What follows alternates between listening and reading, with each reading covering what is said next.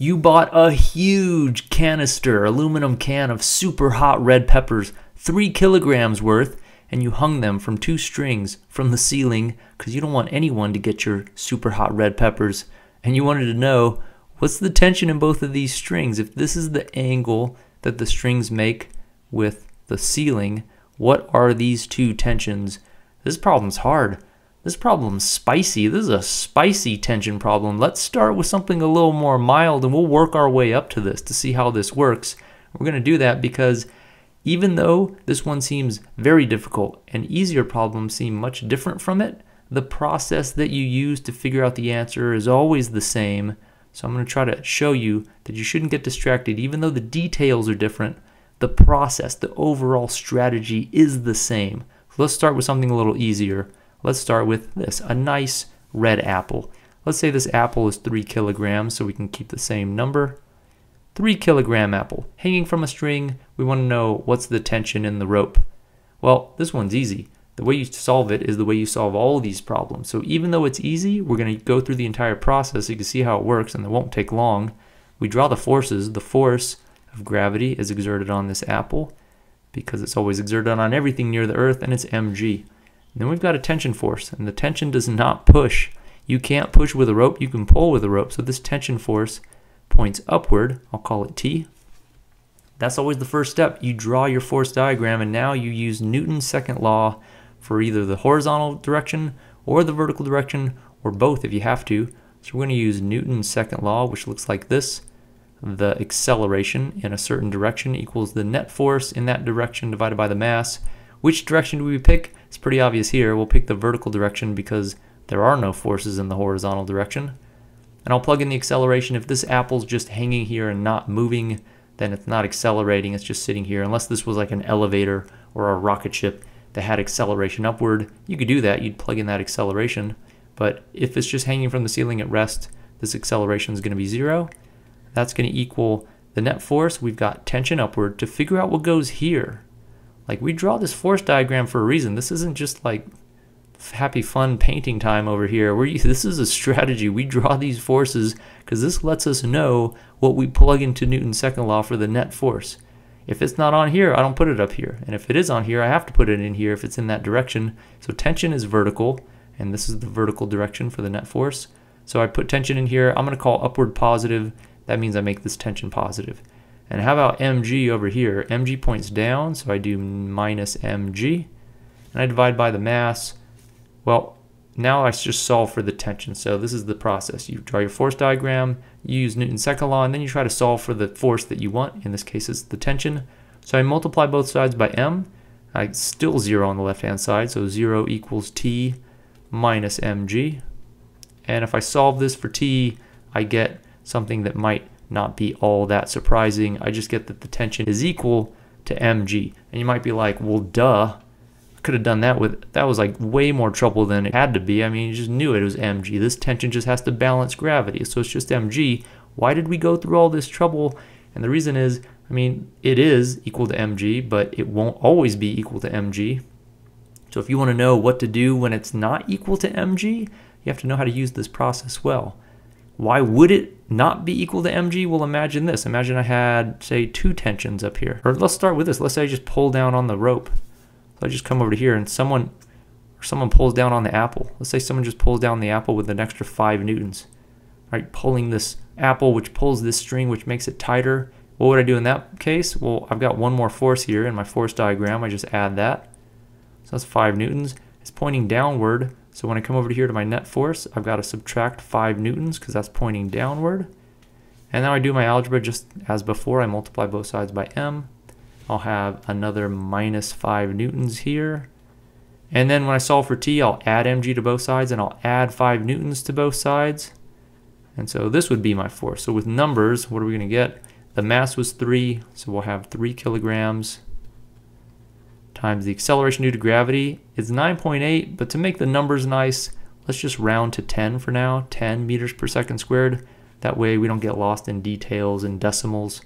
So plus 5 newtons. So it's mg when it's just hanging there, but if there's extra forces, it won't be mg. In this case, with a 5 newton force downward, it's going to be 30 plus 5, so it's going to be 35 newtons. So it's equal to mg in the easiest possible case, but there, if there's extra forces, it won't be equal to that. Also, if there was another rope pulling up in the same spot as the first rope, now I'd have two tensions pulling up. Now I've got another tension force pulling up this way. So what would I do now? I'd have to add another t. I'd have plus t. Well, t plus t is just 2t. So I'd have a 2t here, I'd have a 2t here. To solve for t, I'd just have to do 35 newtons divided by 2. So you could start making these harder and harder and harder. And you could do that by adding extra ropes or adding forces down. And you might convince yourself erroneously you have to do something new, but you don't. You still just draw your force diagram. Then you go to Newton's second law, you put those forces in carefully, you solve for what you want to know. And if this is confusing, why is it 35 over 2? It kind of makes sense. The total downward force is 35 newtons because this is 30 newtons of weight here. We've got 35 newtons downward. The total upward force has to be 35. And if these strings are attached at the same point, they're both going to bear the same amount of weight. They have to total up to 35. So you just get 35 over 2 amongst each of them because they each bear half the weight. So that was one of the easiest problems. We turned it into a little bit of a harder problem. It gets even harder if we add an angle. Remember those jalapenos were at an angle. We got to do this. We got to do one at an angle. So you've got a chalkboard hanging from two strings. One string's horizontal, one string is up here at an angle. What do you do now? It's easy to convince yourself you got to try something new or go for a new strategy, but you don't. You solve this the same way. We're going to draw our forces. We've still got a force of gravity down. So this force of gravity is just mg.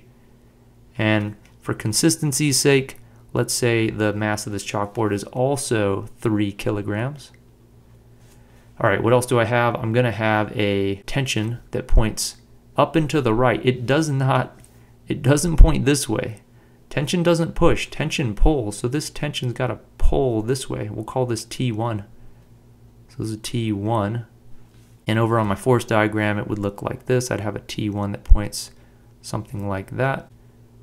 So here's my T1. I'll put it right here, T1.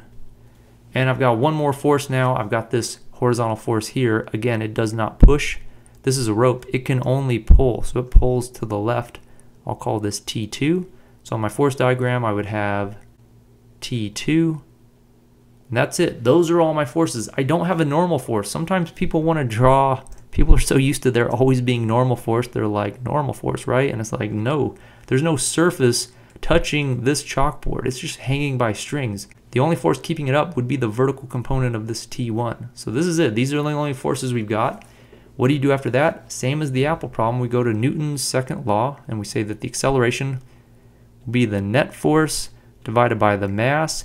Which direction do we pick? It's not quite as obvious here. We've got forces vertically and horizontally. So here's my advice. Look for something that you know. In this case, I know the mass is 3 kilograms.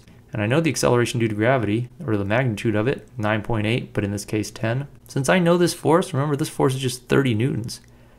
Because 3 times 9.8 or 3 times 10 meters per second squared is just 30 newtons. Since I know this force, it's a vertical force, I know something about that direction. I'm just going to start with that direction because I already know something about it. So I'm going to do A in the y direction, F in the y direction. We'll start with the vertical direction. If you make a mistake and you pick the wrong direction, it's not the end of the world. Just pick the other direction. I mean, there's only two to worry about. So if you screw one up, just go on to the next one. It's not that big of a deal. All right, acceleration vertically again. Let's say this is at rest, just hanging from these strings. So we don't have to worry about any acceleration. Although if there was, you would just plug that acceleration in here. It's not that, not that much harder of a problem. Zero equals, all right, what do we got? We need to put our vertical forces up top. I know this one, 30, me 30 newtons downward. So I'm going to have negative 30 newtons because those 30 newtons point down, and I'm going to consider downward as a negative, upward as positive. This is really just mg. I could have wrote it as negative mg. What else do I have? I've got T1. T1 points up, but I can't add all of T1 here because it doesn't all point up. I can only add all of T1 if T1 pointed straight upward, but it doesn't part of it points up. So this part of T1 points to the right, pulls to the right. This part of T1 pulls up. It's this component right here that's going to be the component that actually causes this chalkboard to stay up, that keeps it from falling down, because that's the part that's fighting gravity. We'll call this T1 in the y direction. We'll call this T1 in the x direction. So I need to add plus T1 in the y direction. And that's it. Those are the only two forces that are vertical. T1x is not vertical, that's horizontal, and this T2 is horizontal. So I've included T1y and mg. Those are the only two forces that are vertical. So now I divide by my mass. I can multiply both sides by mass. m times 0 is still 0.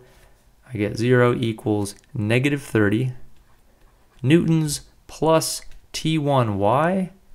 And now we have to figure out, okay, like T1y. T1y has to equal what? I can solve this for T1y. I add 30 to both sides. I'm going to get T1y equals positive 30 newtons. And that makes sense. I mean, this T1y is the only component that's balancing out gravity. We know it has to balance because there's no acceleration vertically. So this T1y has to be the exact same size as the force of gravity. I drew it, it's not proportional here. Sorry about that. I should have drawn it with this component exactly the same length as this component because they have to be the same. They have to cancel. But that just tells me T1y. I want to know what T1 is. How do I solve for what T1 is and what T2 is? These are what I want to figure out. What are the tensions?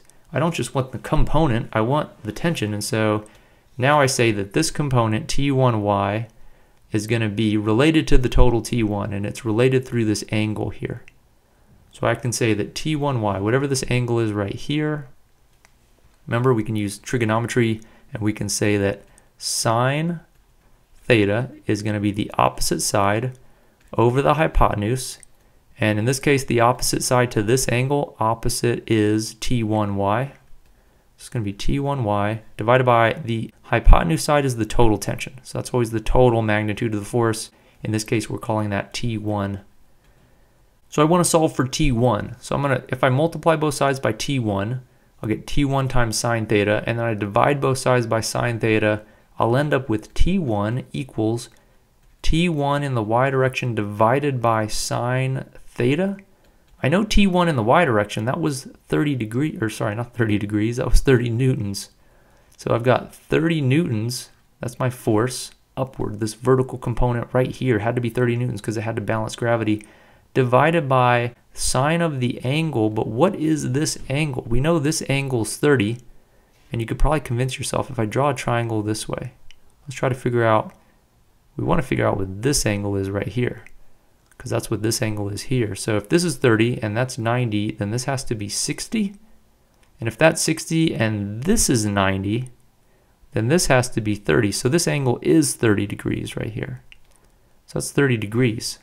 So this angle right here, which is this angle right here, has to be 30. So when I'm taking my sine, I'm taking my sine of 30 degrees, and I get 30 newtons divided by sine of 30, and sine of 30 is 1 half, so 0.5. So I get that this is 60 newtons. And that might seem crazy. You might be like, wait a minute. T1 is 60 newtons. 60 newtons, the weight of this chalkboard is only 30 newtons. How in the world can the tension in this rope be 60 newtons? I mean, if we just hung it by a single string, if we just hung this chalkboard by a single string over the center of mass, you'd just get a tension of 30 newtons. How can this be 60 newtons? And the reason is this part's got to be 30 newtons. We know that because it has to balance gravity. But that's only part of the total tension. So if the total tension, if part of the total tension is 30, all of the tension's got to be more than 30, and in this case, it's 60 newtons. So that's why it's larger in this case, because it's at an angle. So this component has to equal gravity, and this total amount has to be bigger than that so that its component is equal to gravity. All right, how do we figure out T2? Well, you don't invent a new strategy. We keep going. We're going to say that the acceleration in the horizontal direction is the net force in the horizontal direction divided by the mass. So we still stick with Newton's second law, even when we want to find this other force. This force is horizontal, so it makes sense that we're going to use Newton's second law for the horizontal direction. Again, if this chalkboard is not accelerating, the acceleration is zero, so I'll draw a line here to keep my calculations separate, equals net force in the x direction. Okay, now I'm going to have T1 in the x direction. So this is going to be T1 in the x. So I'll have T1 in the x direction. That's positive because it points right, and I'm going to consider rightward positive minus T2, all of T2. I don't have to break T2 up. T2 points completely in the horizontal direction. And I divide that by the mass, and well, I could multiply both sides by mass. I'd get 0 equals T1 in the x direction minus, excuse me, minus T2. So if I solve this for T2, I'm going to get that T2, if I add T2 to both sides, I get that T2 just equals T1 in the x direction.